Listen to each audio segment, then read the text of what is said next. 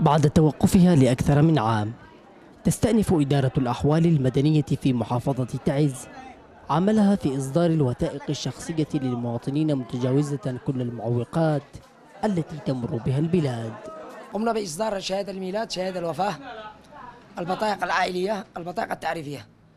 والآن بفضل الله عز وجل تم افتتاح البطايق الإلكترونية. يوجد هناك إقبال على المو...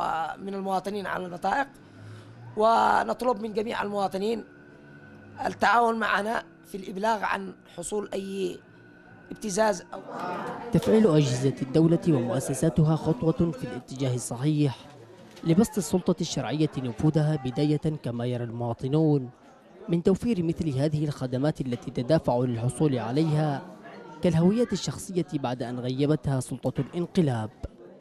هذه بادرة خير بفتح مركز الأحوال المدنية المركز الرئيسي بمحافظة تعز بدأ بعمله السابق. سهلت على على علي أنا أولا وعلى كثير من الناس بالتعب الذي كانوا يحصل إلى صنعاء. ربما بعض الناس صرفوا مبالغ تصل إلى خمسين ألف وثلاثين ألف من أجل أن يقطع البطاقة الشخصية التي هي حق لكل مواطن يمني.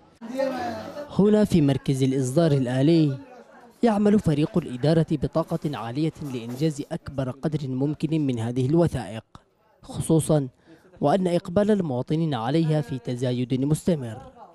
حمزة أمين قناة بلقيس تعز.